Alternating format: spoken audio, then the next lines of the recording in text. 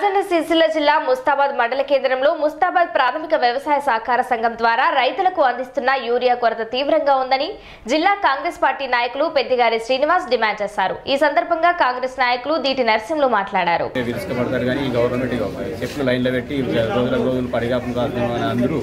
ఇప్పుడు ఎంత విరగబడ్డారు చూడు ఎంత కరోనా టైంలో ఇంతమంది విరగబెట్టు ఇది చేసుడు గవర్నమెంట్ యూరియన్ షార్టేజ్ చేసి ఎట్లుంటుంది చొరవ తీసుకొని నాలుగు లారీలు పంపిస్తే అందరికీ సరిపోతుంది. వచ్చింది ఒక్క ఊరియా సంచి కావాలి. ఒక యూరియా సంచికి పొద్దుగాల వచ్చినావు. పొద్దుగాల వచ్చినా ఇంకా సుద్ధా అత్తలేదు. అత్తలేదు. ఆ కళ్ళ కాగితం పెట్టి పెట్టిన ఆరు కడుపు ఏం చేస్తారు? ఇక ఆడలు కట్టుకోవాలి ఇక. ఎందరికి ఎన్ని? అంటే రెండు రెండు ఇస్తారు. రెండు రెండు ఇస్తారు. నాలుగు ఇస్తాను రెండు అడిగిన వాళ్ళకి రెండు ఇస్తాను లేదు నాలుగు అడిగినావు నాలుగు ఇస్తాడు నాలుగు అడిగిన వాళ్ళు రాసుకుంటూ అట్లా రాస్తుండట తప్పు రాసు- పంపని అంటుండు నాకు రెండు అవసరం సార్ అంటే. ఏం చెప్తారు చెప్పు ఇక. అయితే ఓలా మనసంచులగా ఏమంటారు ఏమంటారు మనసంచులు ఉన్నాయట్నా లేవట్నా? ఆ, పొద్దుగాల చైర్మన్కు పొద్దుగాల సొసైటీకి పంపించమను మనిషికి ఇబ్బంది ఏం కాదు. ఈడొచ్చి ఈడికి పడితే ఇద్దరం ఆడలం ఉన్నాం. మాకు ఇస్తనే లే రెండల నీళ్ళ పడిపోతున్నాం. ఏం సార్ ఇట్లా తిప్పలు పెడితే ఎందుకు మాకు?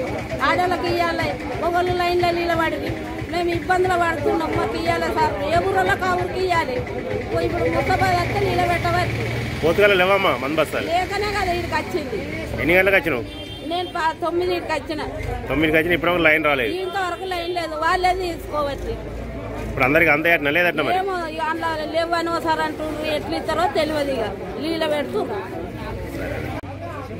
సప్లై గవర్నమెంట్ సప్లై ఎందుకు నిలిపిచేస్తాము ఇట్లా అవస్థపడుతున్నాము రైతుల గురించి. లేదరు తొందరగా వచ్చే ఏర్పాట్లు చేయాలి. ప్రభుత్వమే ఇట్లా రైతులు పడి నిలబడు తీసుకోవడం చాలా ఇబ్బందికరంగా ఉంది. ఏ సొసైటీకి ఆ సొసైటీకి పంపిస్తే బాగుంటుంది. పోతుగాలు అందుబాటులో లేవా? అలా లేకనే ముస్తాబాద్కి రావడం జరిగింది. పోదిగాల సొసైటీలో ఉంటే అందరు పోదిగాల వాళ్ళు ఇక్కడికి ఎందుకు వస్తారు? ఎందుకు తీసుకుంటారు? కావాల్సిన మరి ఇటీవల గౌరవ ముఖ్యమంత్రి గారు కావచ్చు మరి స్థానిక ఎమ్మెల్యే మరియు మరి ఐటీ శాఖ మంత్రి గారు కేటీఆర్ గారు కావచ్చు వాళ్ళు అసెంబ్లీలో కానీ ఎక్కడైనా స్టేజీలలో కానీ వాళ్ళు మాదంతా రైతు రాజ్యం. మేము రైతుల కోసం ఇబ్బందులు లేకుండా అన్ని వసతులు కల్పిస్తున్నాం అన్ని చేస్తున్నామని చెప్పుకున్నటువంటి మంత్రి గారికి ఈరోజు ముస్తాబాద్ మండలం తరఫున ఒక డిమాండ్ చేస్తున్నాం. ఏంటంటే గ్రామాల్లో మీరందరూ కూడా ఆ యొక్క రైతు వేదికలు నిర్మాణం చేయడం జరిగింది. అదేవిధంగా రైతు సమన్వయకర్తలను కూడా నియామకం చేయడం జరిగింది. మరి ఇంత ఫర్నిచరు ఇంత ఎన్విరాన్మెంట్ ఉన్నటువంటి సందర్భంలో మీరు మండల కేంద్రంలో కాకుండా కేవలము ఏదో ఒక దగ్గర ఏర్పాటు చేసి మరి ఈ పంటలకు యూరియా బస్తాలు పంపిణీ చేస్తున్నామని చెప్పి ఈ సందర్భంగా తెలిపి మరి ఇక్కడ ఉన్నటువంటి ఒక రైతులను ఆయా గ్రామాల నుంచి వచ్చినటువంటి రైతులకు ఎంతో వసతులు ఎలాంటి వసతులు లేకుండా ఇబ్బందులకు గురి చేస్తూ ఉన్నటువంటి సందర్భం మనం ఇప్పుడు చూస్తున్నాం.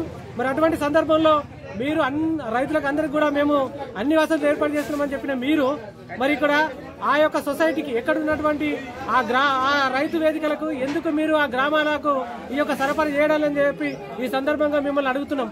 ఇంకొక విషయం ఏంటంటే మీరు మేము పంటలు వేయద్దు తక్కువ పంటలే అని చెప్పి రైతులకు మీరు సూచన మేరకు పాపం వాళ్ళు కూడా తక్కువ పంటలు వేయడం కూడా జరిగింది.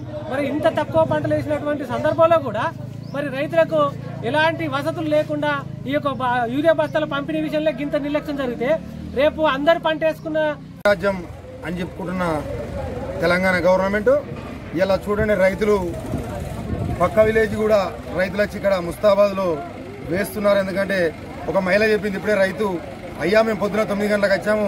ఇంతవరకు మమ్మల్ని పట్టించుకునే మానవుడు లేడు. ఎందుకంటే మా విలేజ్లో సొసైటీ ఉంది కానీ సొసైటీలో మాకు మందు దొరుకుతున్న వీడియో.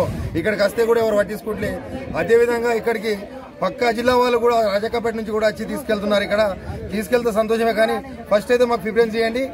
ఏదైతే ఇలా ఎలక్షన్లు సొసైటీ ఎలక్షన్లు రాగానే నేను నిలబడదా నాకు ఒకటి వేయండి అక్క అవ్వ అని కడుపులో నెత్తిపెట్టి ఓట్లేసేదాకా నేను నీ కొడుకునని గొప్పగా చెప్పుకునే నాయకులు ఇలా ఏ ఒక్క సొసైటీ మెంబరే కానీ సొసైటీ చైర్మన్ కానీ ఇక్కడ లేడు. నేను ఏదైతే రైతులను కోరుకునేది ఏంటంటే ఎవరైతే రై- రైతుల పక్షాన ఉండి రైతులకు నేనున్నా మీ కొడుకులాగానే ఉంటే నాయకుని ఎన్నుకోండి. ఇవాళ ఇక్కడ గెలవంగానే హైదరాబాద్లలో పోయి ఉండే నాయకులకు అవకాశం ఇవ్వద్దని కోరుకుంటున్నాను స్థానికంగా. సిద్దిపేట జిల్లా మిరుదొడ్డి మండలం ఆరేపల్లి ప్రాథమిక పాఠశాలలో స్వపరిపాలన దినోత్సవం ఘనంగా నిర్వహించారు. ఈ సందర్భంగా పాఠశాల ప్రధాన ఉపాధ్యాయురాలు భాగ్యలక్ష్మి మాట్లాడుతూ విద్యార్థుల్లో ఉన్న నైపుణ్యాన్ని వెలికితీసేందుకే స్వపరిపాలన దోహదపడుతుందన్నారు. ఇక ఈ కార్యక్రమంలో ప్రధాన ఉపాధ్యాయురాలు పలువురు పాల్గొన్నారు.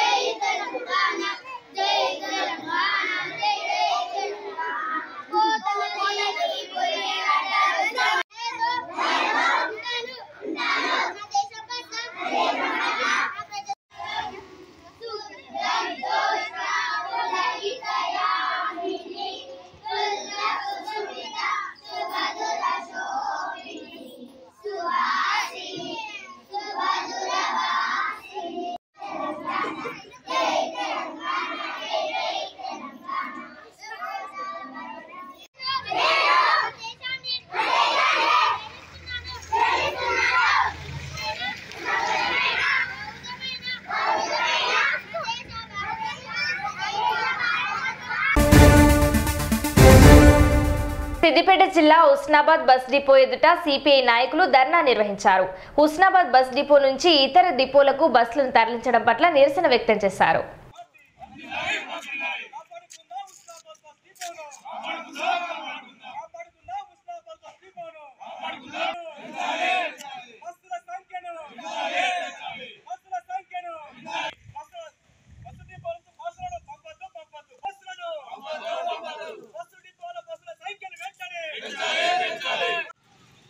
హుస్నాబాద్ ప్రాంత ప్రజలను గమ్యం చేర్చడానికి నిరంతరం మరి ప్రాంతంలో ఆర్టీసీ బస్ డిపో కావాలని చెప్పి కమ్యూనిస్ట్ పార్టీ ఆధ్వర్యంలో అనేకమైనటువంటి పోరాటాల వల్ల మరి ఇక్కడ డిపో ఏర్పాటు చేయడం జరిగింది. ఈ డిపోలో కేవలం యాభై ఏడు బస్సులు ఉన్నాయి. యాభై ఏడు బస్సుల్లో దాదాపు ముప్పై బస్సులు ఐదు బస్సు సంబంధించి ప్రైవేటు సంస్థ నడిచేటువంటి బస్సులు ఉన్నాయి. మిగతా ఇరవై ఏడు బస్సులు ఈ యొక్క ఆర్టీసీ ఆధీనంలో జరిగేటువంటి బస్సులు ఉన్నాయి.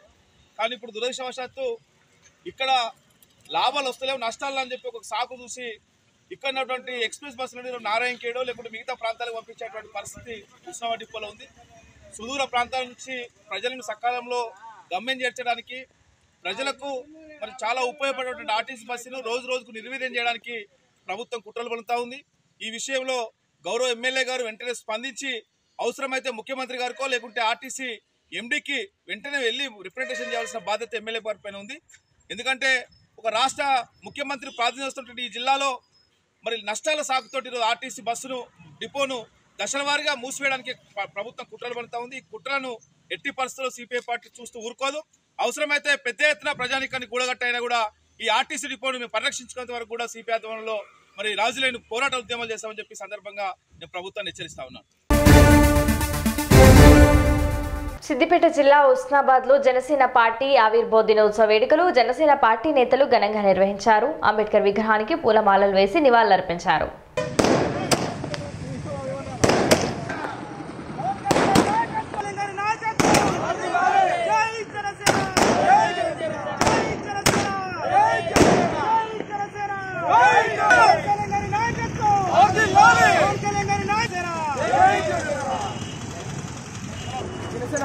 యొక్క ఆవిర్భావ దినోత్సవం సందర్భంగా కృష్ణాబాద్ నియోజకవర్గ జనసేన పార్టీ ఆధ్వర్యంలో స్థానిక అంబేద్కర్ చౌరస్తాలో అంబేద్కర్ విగ్రహానికి పూలమాల వేసి దీపం ఈ యొక్క ఆవిర్భావ దినోత్సవాన్ని జనసేన పార్టీ కార్యకర్తల మధ్యలో జరుపుకోవడం జరిగింది. అదేవిధంగా పవన్ కళ్యాణ్ గారు ఒక సామాన్యుడిని రాజకీయ నాయకులు చేయాలన్న ఉద్దేశంతో స్థాపించిన పార్టీ. పార్టీ ముందు ముందు కృష్ణాబాద్ నియోజకవర్గ పరిధిలో సమస్యలపై పోరాటం చేస్తామని చెప్పి తెలియజేస్తూ మరొకసారి జై జనసేన! జై జనసేన! జై జనసేన! జై జనసేన! నమస్కారం తెలియజేస్తున్నాను. ఈరోజు జనసేన ఆవిర్భావం దినోత్సవం సందర్భంగా నా తోటి మిత్రులు తోటి కార్యకర్తలు తోటి సహచరులు అందరం కలిసి అంబేద్కర్ చౌరస్తా దగ్గర అంబేద్కర్కి పూలమాల వేసి కేక్ కట్ చేసి ఆవిర్భావ దినోత్సవం చేయడం జరిగింది. పవన్ కళ్యాణ్ గారు తన పాతిక సంవత్సరాల భవిష్యత్తు విడిచిపెట్టుకుని వచ్చి మన భవిష్యత్తు కోసం తను ఎన్నో కోట్ల సంపద విడిచిపెట్టుకుని వచ్చి మన కోసం మన లాంటి సామాన్య కార్యకర్తలను లీడర్లు చేయేందుకు తన జీవితాన్ని పక్కకు పెట్టి మన జీవితాల కోసం అతను పార్టీ స్థాపించడం జరిగింది. అలాంటి సిద్ధాంతాలు నచ్చే మేము పవన్ కళ్యాణ్ పార్టీలో చేరాం. మాలాంటి ఎందరో కార్యకర్తలు నాయకులను చేసే దిశగా ఆయన ప్రయత్నం చేస్తున్నారు. ఆయన ప్రయత్నం ఫలించాలని జై జనసేన జై హింద్!